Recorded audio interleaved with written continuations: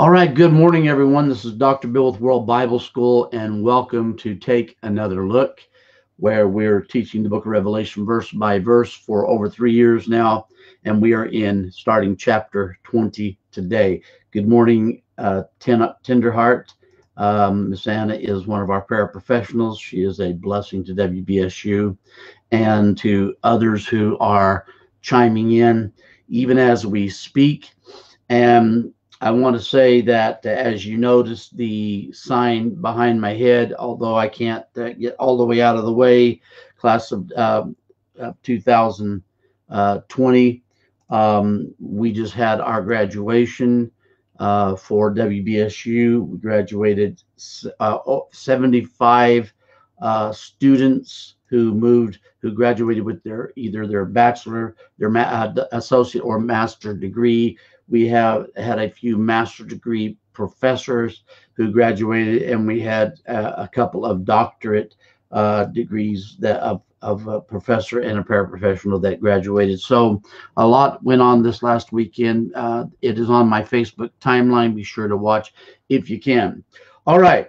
Uh, we are going to continue today as I'm sharing with you uh, lessons from what I believe Holy Spirit is showing me, has shown me, and is showing me as we continue this spiritual journey through the book of Revelation, verse by verse. And as I always say, for sake of the video, just in case you this is the first and only video you see, if you're joining me for the first time, we're looking at the events surrounding the Apostle John as he experiences a new dimension of the heavenly realms of the Father's mind, and we're seeing what we can learn from his experience. So keep in mind that I'm teaching this completely from the idea that the book of Revelation is the revelation or the unveiling of the anointed one, the revelation of Jesus Christ. And so, uh, again, thank you everybody for joining me. Uh, David Jacobs, our board member, Dr. Faye, who is watching, and others this morning. Now, I want to just say this that how I define revelation is the unveiling of the Father's heart. That is the whole point of the book of Revelation is an unveiling. And this unveiling uh, is so important because this unveiling happens in a people and particularly in the soul of mankind. And that's the essence of what is happening in the book of Revelation. So let's continue to see what John sees next and hears next as he shows us how to operate from a heavenly realm uh, while ministering here in this earthly realm. So we don't have to be limited by what we see, what we hear, what we uh, feel, and etc. But that we are unlimited in the truth of what the Father says about us. So let's continue now with Revelation chapter 20, verse 1, 2, and 3. We'll get as much of verse 2 and 3 as we can, and then probably have to come back to this next week. So uh, let's get started. All right, Revelation 20, verse 1, 2, and 3 from the New King James says, Then I saw an angel, or we know that this is translated heavenly messenger, coming down from heaven, having the key to the bottomless pit and a great chain in his hand. He laid hold of the dragon, that serpent of old, who is the devil and Satan, and bound him for a thousand years and he cast him into the bottomless pit and shut him up and set a seal on him so that he should deceive the nations no more till the thousand years were finished. But after these things, he must be released for a little while. Now, the wording of the New King James, uh, as well as the wording of the King James and other similar translations, really have given us a poor translation of the original language. So while I cannot give you a word by word play of the original language, still there are things that needs to be seen. So when you look at the New King James version of the Bible, for example, if that's the version of the Bible you have, and uh, you read the um, the the headings. Now, keep in mind that passage headings, uh, chapter headings or passage headings were added by the translators, um, by the printers, uh, to kind of section out the, the, the scripture to give people an idea of what they're talking about. The reality is, is that in this case, uh, there's something misleading about the title in the heading of this section of scripture uh, from just about any translation of the Bible. Uh, we will see, uh, we often see a passage heading that reads something like we see in the New King James or the King James, which says, Satan bound 1,000 years. However, this does not prove a conducive, uh, uh, provide a conducive understanding that lines up with the proper interpretive lens of all scripture, which is Father's unconditional love for his creation. So there must be something more to this school of thought. And that's what we're investigating today. Now, as we look at this, uh, John starts out and he says, I saw an angel coming down from heaven having the key to the bottomless pit and a great chain in his hand. Uh, once again, to keep a proper perspective in line with previous lessons, the word angel does not uh, refer to a white being with wings that is flying around in the heavenly, spiritual, unseen realm of spirit. The word angel comes from the Greek word angelos angelos, which is defined as to bring tidings or a messenger. The, the messenger uh, that we're referring to here, this heavenly messenger, would then refer to a spirit being that is not visible in this natural realm, but is manifested in the realm of the supernatural so I'm going to describe that for you today and, and talk about this with some some uh, great explanation. So here John saw this messenger coming down from heaven.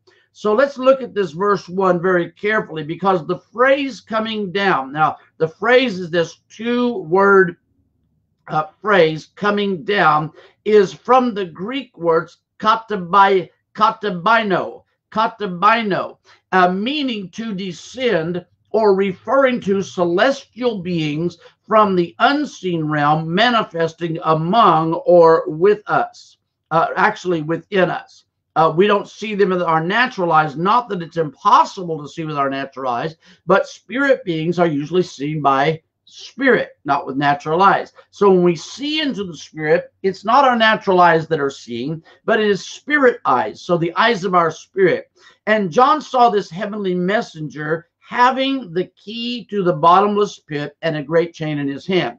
Keep in mind that uh, we have just seen in the previous few chapters the Babylonian system within man's soul uh, come to an end, followed by the marriage supper, where the union or reunion of mankind's thinking is joined to the mind of God, and that's what takes place. Now, I, I want to read something to you. It's a little bit lengthy, but it will be pertinent to uh, the rest of this lesson. And so, if you would just listen to this story, uh, because J. Preston Eby relates this story in his commentary that he once read, and I thought it was very pertinent. And he says, I, I once read a story uh, uh, stemming from the Middle Ages, at which time the Christians were in control of Jerusalem. Being in control of Jerusalem, the Christians thought it would be appropriate for them to banish the Jews from the city.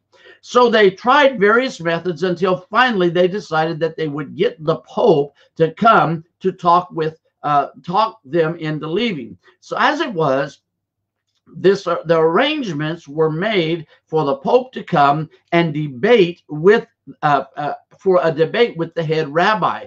All of the cardinals came with the Pope, and all of the rabbi's assistants attended with their leader. As the debate began, the Pope and the rabbi agreed that it would be best to meet alone. So uh, all of their advisors left. However, the Pope couldn't speak Yiddish and the rabbi couldn't speak the Pope's language, so they communicated by using hand signals. The Pope began his discourse by moving his arms in a big circle. Then the rabbi responded by pointing to the ground. Immediately following that, the Pope held up three fingers, to which the rabbi responded by holding up one finger. To that, the Pope full, uh, pulled out a chalice and held it up, at which the rabbi pulled out his robe, uh, of, from his robe, an apple and held it up high. Seeing all this, the rabbi threw up his arms uh, in the air and concluded, uh, and uh, threw up his arms in, in the air and concluded the Jews stay. The cardinals overheard the uh, the verdict, ran into the chambers and pulled the Pope aside. They requested the details of the debate. Why had he allowed the Jews to stay? The Pope said to them, I threw up my arms in a big circle to say God is everywhere. The rabbi responded by pointing to the ground to say that I was right, but God is also here. I then held up three fingers saying that God is three persons. The rabbi pointed, uh, uh, responded, holding up one finger, clarifying that God is also one person. At that, I pulled out my chalice to share with him the idea that we believe in the blood of Christ as our grace and our union with God. He then pulled out an apple, referring to the original sin of apple of Adam, and all the people have sinned and fallen short of the glory, and therefore we are equal in the sight of God, meaning that by this that the Jews would stay.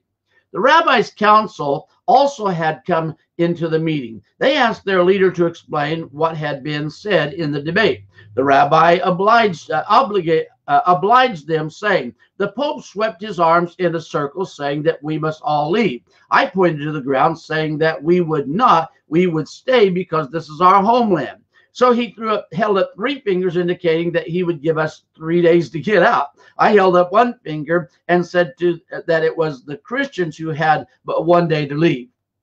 At this, he grabbed his chalice and began eating his lunch. So I took out my apple the story seems to illustrate so so that that's kind of the story. Now for me the story seems to illustrate the truth that if you interpret what you see and hear about the great things of god with a natural understanding or aka the carnal mind you will miss the point altogether. Now most uh, Christians seem to arrive at wrong interpretations of Scripture by using some form of illogical conclusion or coming to some form of illogical conclusion. And this is what happens when the, we look at the book of Revelation and when it's interpreted by the literalness of written Scripture as opposed to seeing uh, the scriptural and symbolic truth of, of uh, a truth John wrote in his vision. So, what exactly is John seeing? What exactly is John uh, saying? And what is he seeing in this heavenly uh, this this uh, heavenly message um, as this heavenly messenger manifests in John's vision? Well, let's look back at John uh, Revelation 20 verse 1 and let's read it this time from the Amplified Bible and it says this. It says, "And then I saw an angel descending from heaven holding the key uh, to the abyss, the bottomless pit, and a great chain was it was in his hand." So the translations are very similar in their wording. Commentary says the Greek words for uh, "and I saw" are used seven times in chapter 19 through 21 to indicate a progression at the end of time from the marriage supper of the Lamb to the millennium uh, to uh, uh, to the new heaven and new earth. Now, the phrase end time is not speaking of the end time, it's speaking of the end of a period of time. As John sees an end to the soulish control of mankind, uh, that ha- uh, mankind has encountered all of his natural or carnal days uh, in, in his natural mindedness. So, because we will see how that the end that the entering of a millennial reign or a new millennium, uh, not a millennial reign, but a new millennium of the heaven and the earth is simply mankind realizing that they are the new heaven and the new earth or the heavenly Jerusalem. The Bible says in Matthew that you are a city set on a hill and that cannot be hidden. The word city there actually is translated heavenly Jerusalem. And so you are the new heaven and the new earth. You are the new, uh, the heavenly Jerusalem. This level of thinking, however, requires that we embrace the mind of Father God who created us as rulers over all things. You know, a lot of people don't believe that we are rulers. They believe that someday we will become rulers. You know, and I, I, I get that I was raised in that belief system also that one day we would be victorious, one day we would overcome, one day, someday, far off in the future, we would rule and we would come back and rule with Christ. But what we're talking about here is something that is not something that will be. Um, so uh, we are to rule as gods, lowercase g, just as Father God, uppercase g, would rule. And we were not designed to be ruled by any form of darkness. Now, I'm not talking about a demon or a devil or some something like that. I'm just telling you that we were not created to be ruled by any darkness. Darkness can be uh, defined as um, a, a, uh, is a lack of light or a lack of understanding, right? Amen. Okay, so it is said that uh, uh, to understand how a machine works, one must understand the most detailed structures of its inner systems. The same understanding is required uh, of the original scriptures, the Greek and Hebrew, and we can acquire that understanding if we'll just apply ourselves and study. Uh, and and from that's from where, where we must uh, um, uh see most from most of our modern Bibles uh, which were unfortunately uh, translated from. And as they were translated from the original languages, languages changed, meanings changed, and now we have a translation of the Bible or translations of the Bible, as it were, that are translated incorrectly. And I say that with all respect for the scriptures. I love the scriptures. I love the Bible. I, I just believe that there is a much of a mistranslation which gives us a wrong concept in our modern world of what it really says. Let's look at uh, um, Ephesians chapter 1, verse 17 and 18 from the Passion Translation. It says this Paul said, I pray that the Father of glory, the God of the Lord Jesus Christ, would impart to you the riches of the Spirit of wisdom and the spirit of revelation or the spirit of discovery, and that's what we're after, uh, to know Him through your deepening intimacy with Him. I pray that the light of God will illuminate your eyes, the eyes of your imagination or your innermost heart or your deep a, a deep knowing flooding you with light until you experience the full revelation of the hope of his calling that is the wealth of God's glorious inheritance that he finds in us his holy ones let me say this about this passage that Paul is not praying for you as an entire being or you as spirit to get an awakening. He's talking about your your carnal mind. Remember James gave us a clue that said we saw into the perfect law of liberty, but we looked away and forgot what kind of man we, we were. This is a biblical clue. There's a lot of clues throughout scripture that tell us about eternity past. We come into this natural realm, we become visible as it were, and we forget who we were created to be. And so Paul prays that the eyes of their understanding or their that they would be illuminated with God's mind uh, to think as he thinks. Writer and commentator J. Preston Eby says, when men earnestly seek the face of the Lord, he raises up within them his Holy Spirit to dispel the darkness of the natural mind that ever hangs a uh, that ever hangs a uh, as a shroud over them, that he may reveal to our spiritual minds the things that pertain to the higher realm of his kingdom. Let me pause there and say, when we talk about the, the natural mind versus the spiritual mind, we're not talking about spirit and soul. We're talking about the, the renewed and the unrenewed portions of your soul. One has a spiritual take on things, one has a natural or a carnal take on things. It is all a matter, it, it all matters of in all matters of revelation and spiritual understanding, it is po- impossible to overestimate uh, the importance of the Spirit who takes us, who comes to take the things of God and show them to us.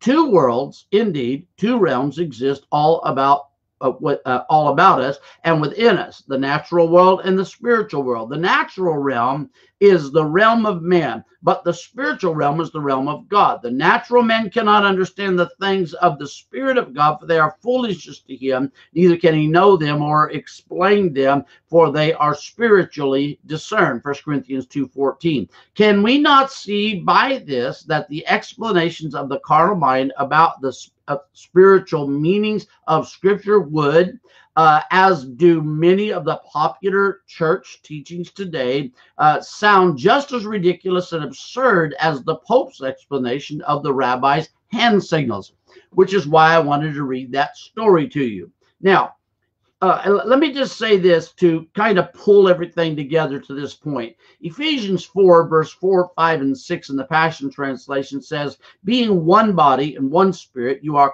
all called unto the same. You were all called, you were past tense, all called to the same uh, glorious hope of divine destiny.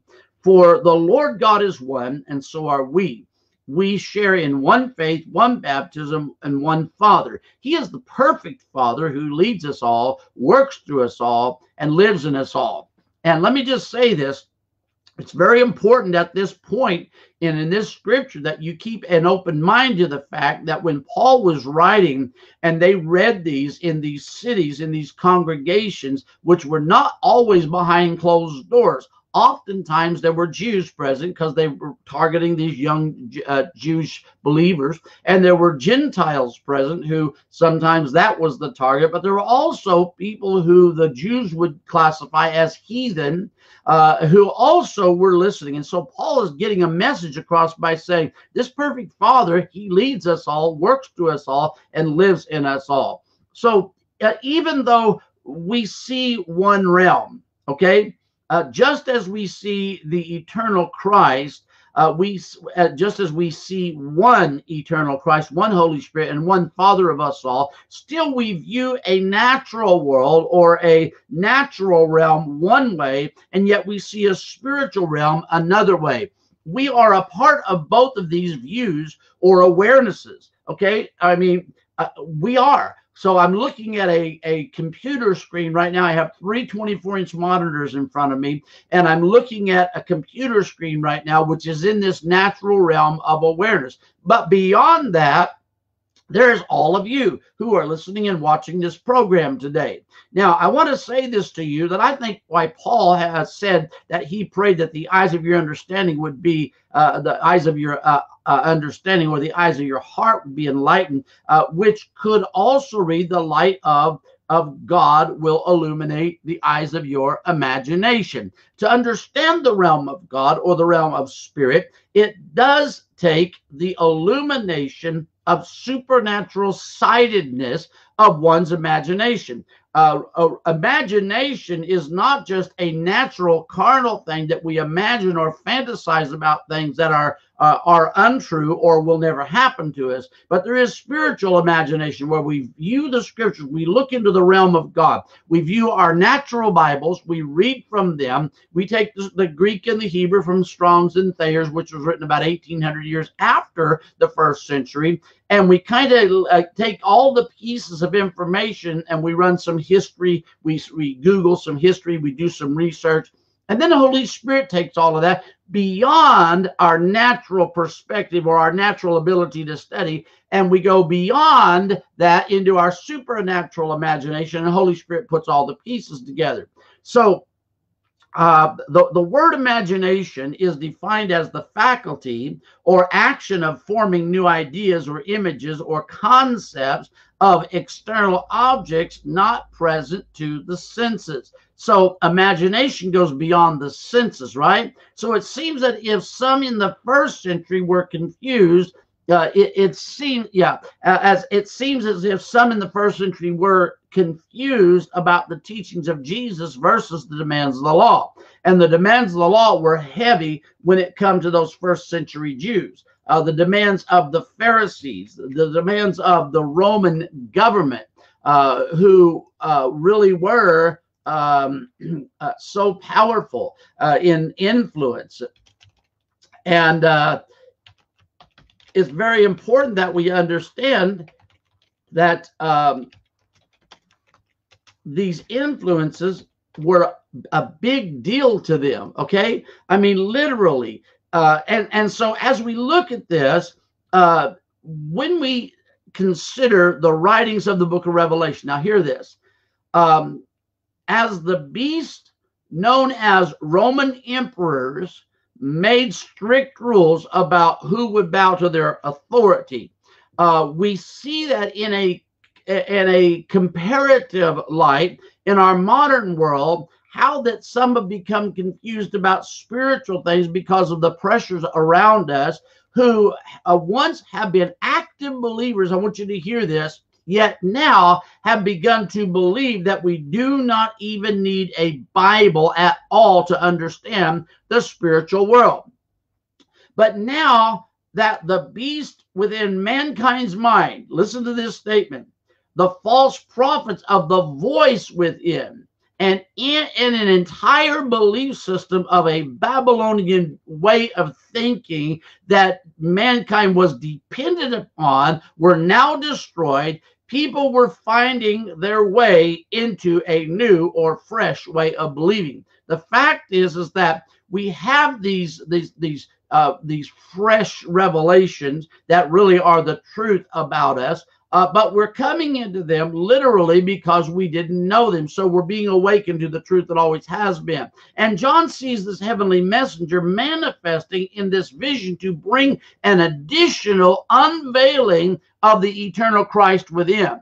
Now, notice that this messenger has the key to the bottomless pit and a great chain in his hand. So we know that keys are used to lock and unlock things, right? We're not talking about binding and loosing. We're talking about locking and unlocking things. Now, metaphorically, a key is an answer or a means or an instrument used to find the secret of or remedy for a problem or situation, right?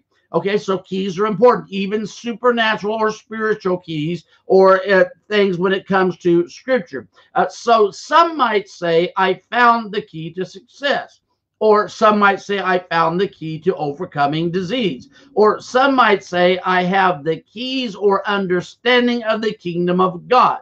We call them keys. However, in this case, the key seems to be that the messenger uh, has delivered or unveiled truth, which brings an awakening to unlock fresh supernatural revelation that exposed an old way of thinking. What does it do? Does it say, look how bad the past was? No, it exposes that what you have learned in the past was not a real and true or proper understanding of truth. So now, how that darkness, that lack of understanding, is dispelled is by introducing fresh light, right? Okay. And so, when the mind is released through the power of revelation, old forms of living uh, have the light of truth that shine on them, exposing all areas of separation thinking so that we can live in the fullness of God. And I want to tell you, brothers and sisters, ladies and gentlemen, today, that is the point. That is the purpose, is to be exposed to uh, and to come into a place of living in the fullness of the Father's uh, mind. Revelation locks up every thought that opposes the truth about God and about his creation and releases the powers of reconciliation, which reconnects our memory to his mind. Amen. All right. So let's look at this now. We're going to go back to uh, Revelation 1, uh, back to Revelation 1, verse uh, 20. And we're going to look at this and we're going to. Uh, we're, we're going to see this from the King James Version now. Not a great deal of change in wordings, but I want you to see something. Uh, it says, And I saw an angel coming down from heaven, having the keys of the bottomless pit and a great chain in his hand. There is a difference, it seems, between the wording of the King James uh, and other like translations versus the Greek text, uh, is that the angel or messenger carries uh, the chain on his hand rather than in his hand. Now, why is that significant? Well, listen to this. The word for in, uh, as used here in the Greek text, uh, is the Greek word epi, uh, meaning superimposition of time, place, order, and so on, as a relation of distribution, or in other words, over or above. Now, sometimes the Greek text reading the definitions can seem a little bit confusing. So let's put this into perspective. The key that is in the messenger's hand, the chain, uh, however, is as we see this, the chain is on the messenger's hand and seemingly wrapped around it. This is the picture that would be painted for us. So let's look at a brief comment by writer and commentator J. Preston Eby. He says a chain signifies anything that prevail, uh, prevents free action. Error is sometimes called a chain.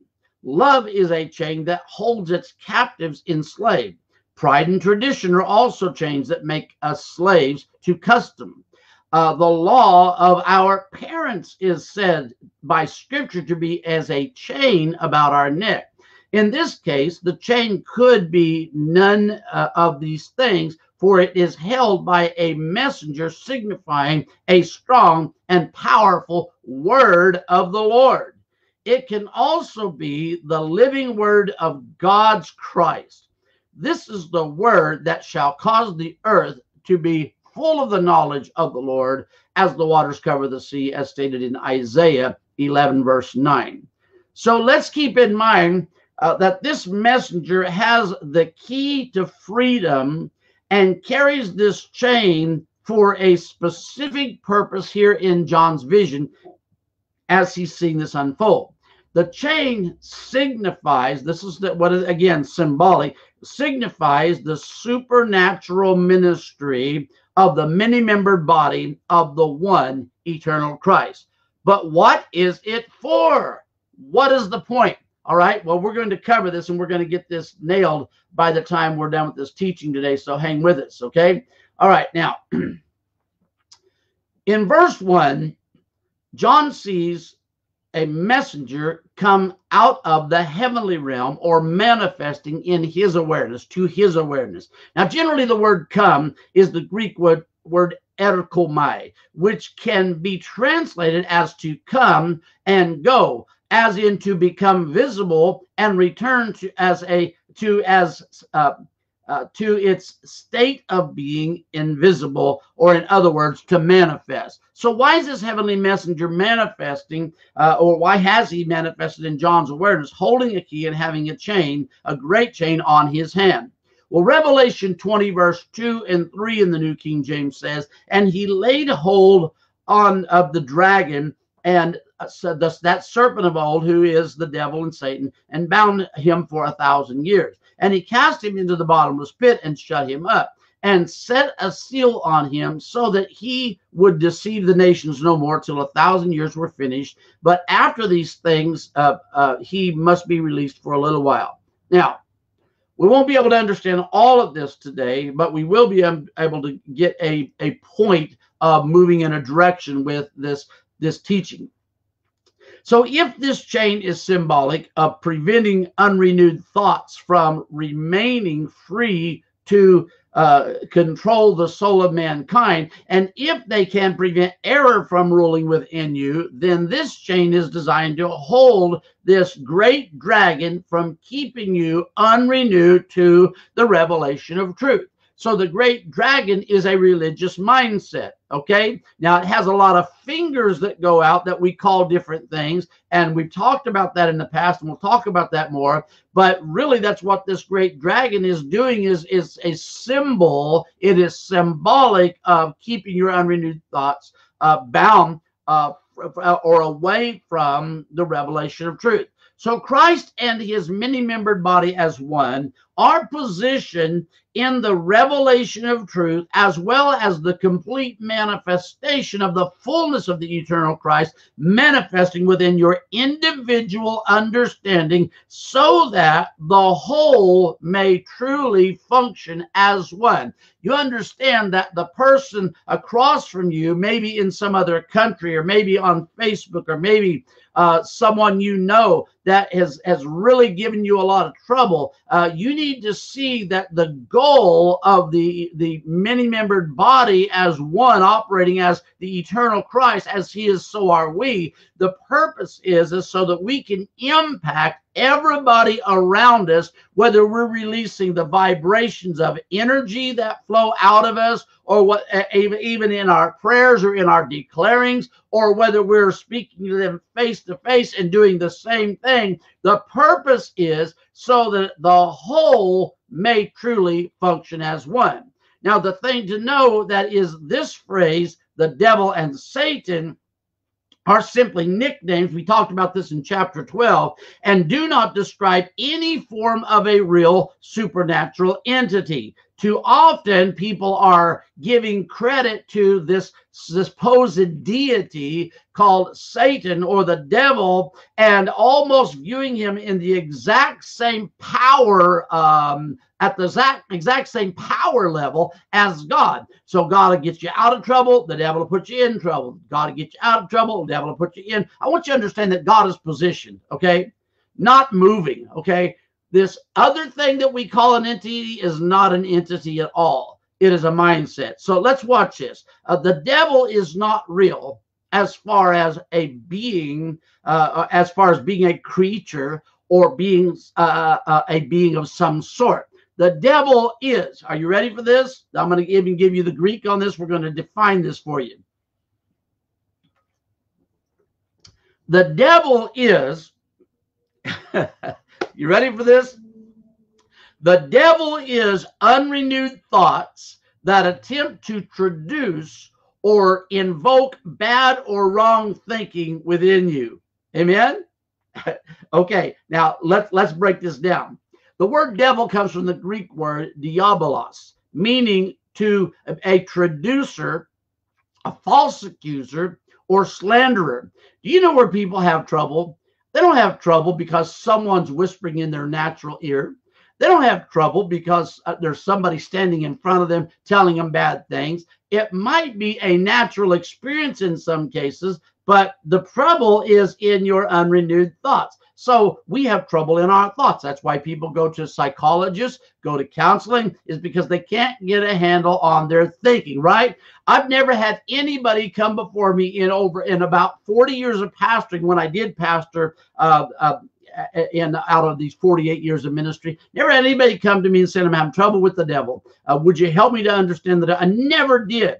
People would say, I'm having trouble with my thoughts. Amen. Okay, so to the word traduce means to speak badly of or tell lies about someone as uh, so as to damage their reputation.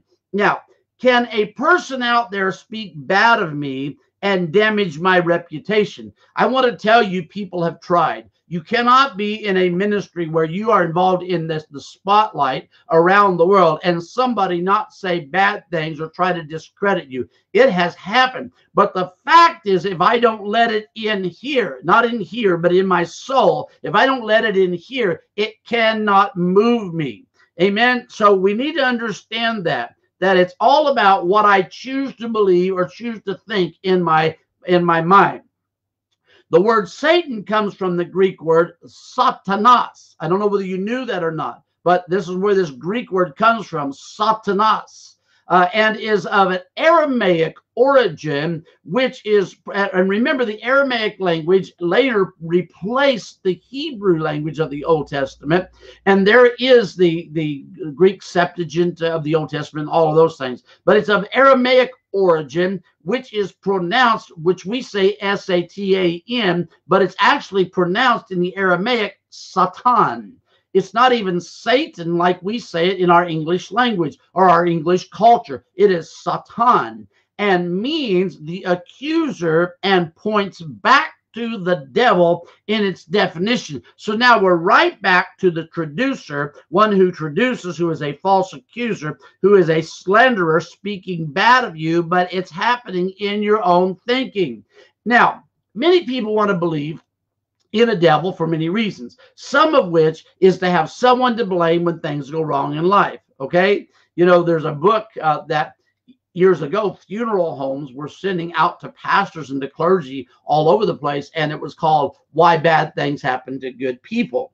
Uh, the fact is, is that bad things happen to good people simply because people, uh, because there's just some stuff that happens in life. But it's how you think of it, how you perceive it, that makes the difference, right? It's very important that we get that. It's very important that we understand that. Amen. Uh, it's very important. And so uh, the reality is, is that when we talk about uh, this devil, uh, there are people who want to believe in a devil just to have somebody to blame in life, right? Well, the thing is this that in all my years as a believer in Christ, I never had a battle with some devil, but I've certainly had many battles with my own thoughts. So if this reference to a devil is simply the battle of the unrenewed mind, then it should be obvious by now to a lot of people, to any spiritual minded individual, that this Satan is often referred to as spirit, right? Isn't that right? Well, let's now jump to another word, the word spirit. The word spirit is the Greek word pneuma. Pneuma. It almost looks like Nauma, but it's pneuma, meaning breath. Okay, that's the first word. Now, there are people who say only consider the first word. Uh, for me, I'm not 100% convinced about, about that because sometimes there's metaphors, there's there's typologies, there's ways words are used,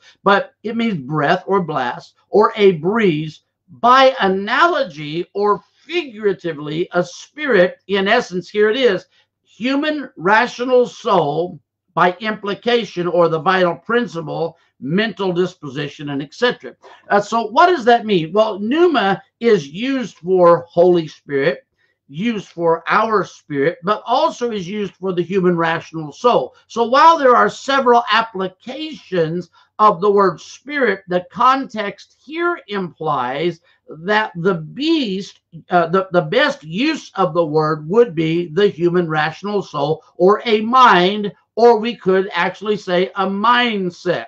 Now, remember in the context, uh, re- remember the context not only here, but in the entire book of Revelation, which is the unveiling or revealing of the anointed one within.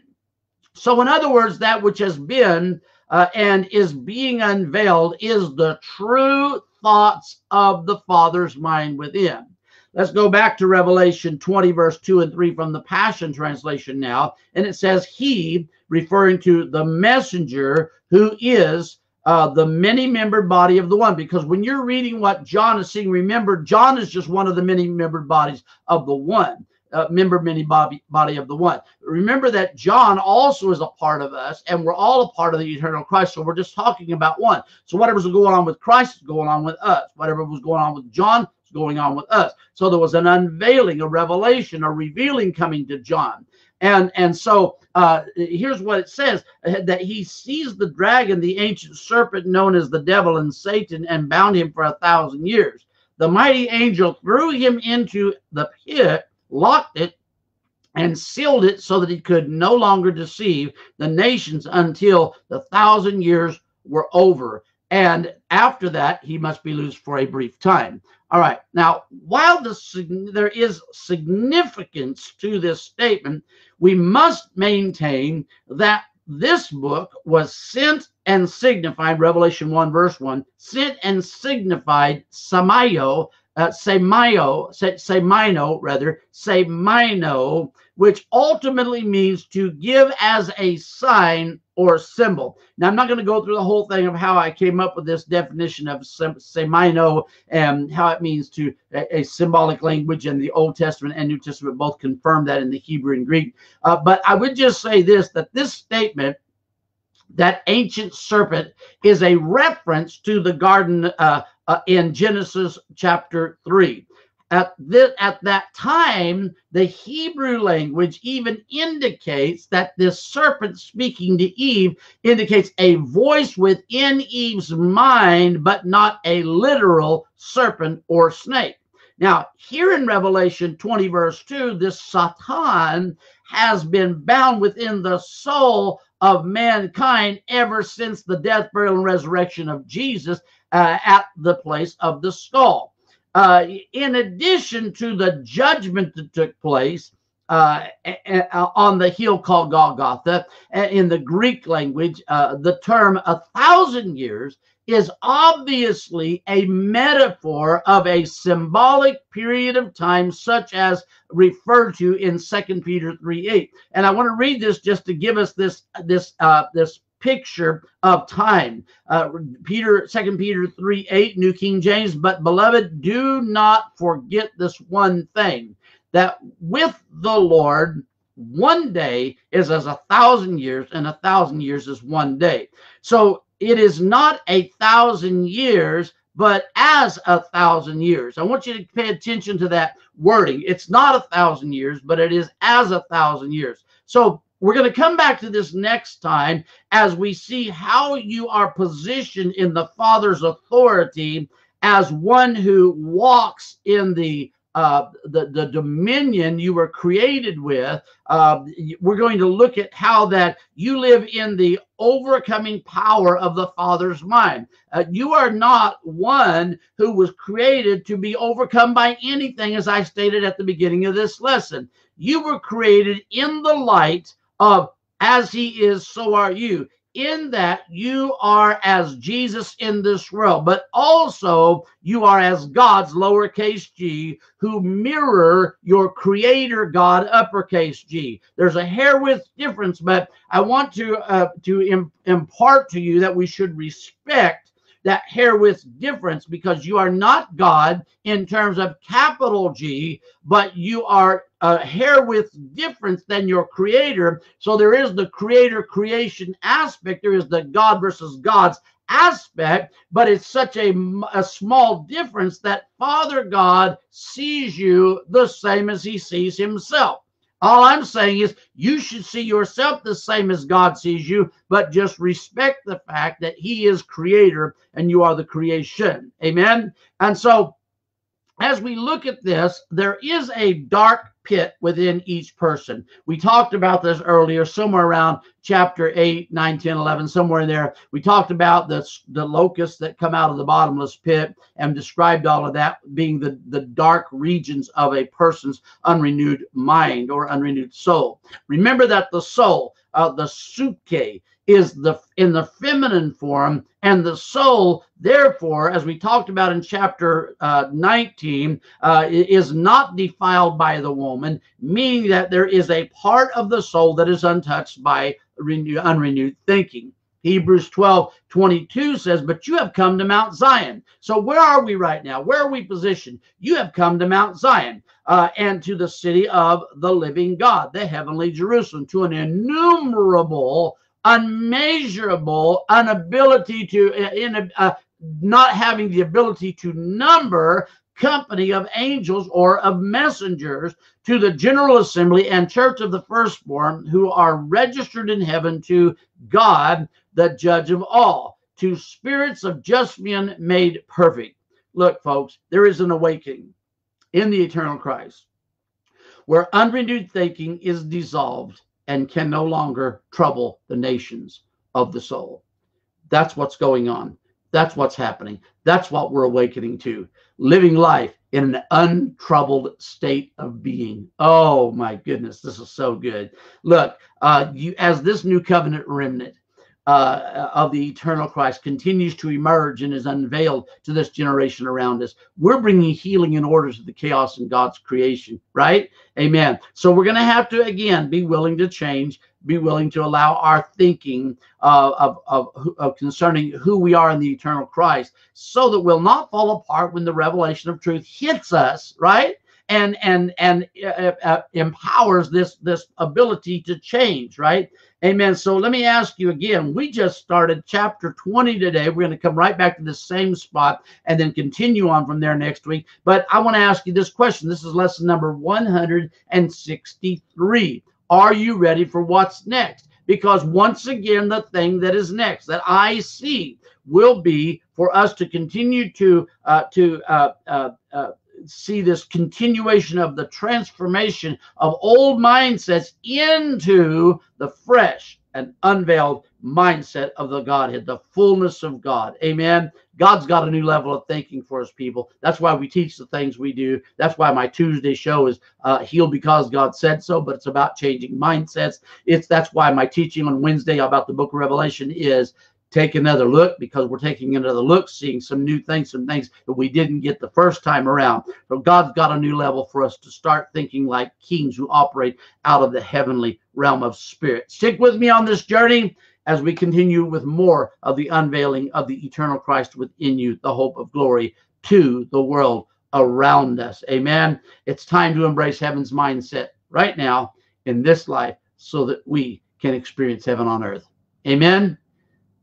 God bless you. I'll see you next time. Join me tomorrow night with Pastor Michelle Harding as we talk about some wonderful stuff uh, on Kingdom Dynamics. Friday morning as we finish up with Gil and uh, Adina Hodges. Uh, it's going to be good. I'll see you then. Have a great day, everybody. Bye bye.